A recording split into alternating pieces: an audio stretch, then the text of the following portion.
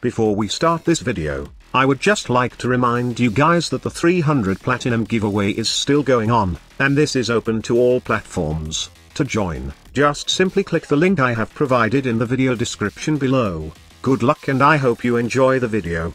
So there are tons of endo farming method available right now in the game, ranging from normal star chart, to railjack missions. The best way to farm endo and get some other resources at the same time, even prime parts, is the Void Storm in railjack missions but, what if you just need endo? What if you just want to farm endo at the fastest time possible? What is the best mission for this?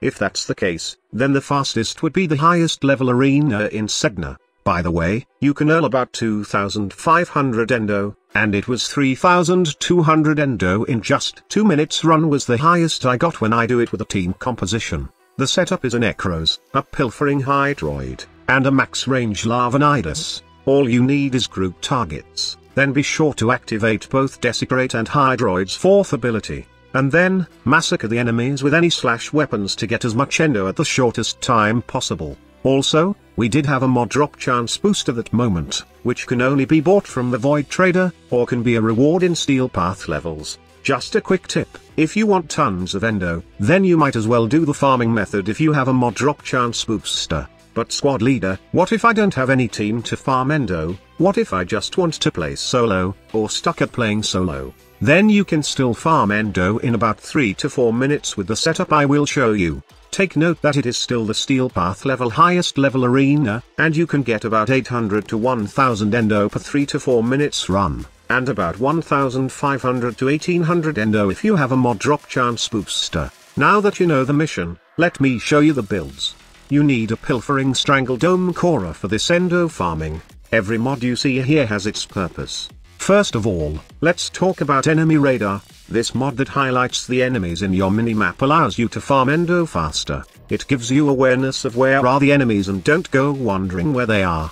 Although Khora's Strangledome has an indication, since you can spot them easily as they get damaged by the ability but still, it's better that you are aware of the exact location of the enemies that are hanging in your ability so you can just chain kill them one after the another. Remember that we are talking of a speed farming build here. Next, a 265% range will allow you to chill in one spot of the highest level Sedna arena, that open area wherein there's an energy orb spawn. That is the most optimal spot for farming endo since all you need is to drop strangle dome, and just wait for enemies to get caught by it. And of course, you need the Pilfering strangle dome to provide additional loot from enemies hanging in your ability. This farming setup doesn't require arcane energy anymore, since I am using Zenurik's energizing dash to get some energy and then, I'll wait up in the energy spawn area. After I get enough energy, I cast Pilfering Strangle Dome, followed by Dispensary. With Dispenser active, I can keep my energy at max capacity with the help of the Equilibrium mod.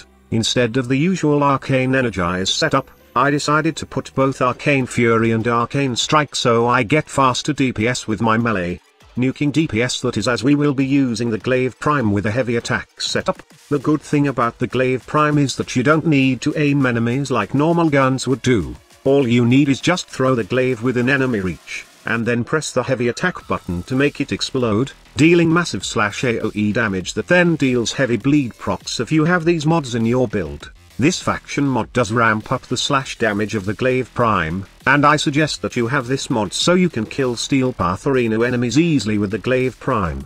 If you don't have it, then you can settle for a critical damage mod in the form of Gladiator Might. But it would not be the same damage as with Primed Smite Grineer in your build. The slash damage and bleed procs scale well with this faction mod and this allows you to kill enemies at the fastest time possible. Now a few tips before you leave.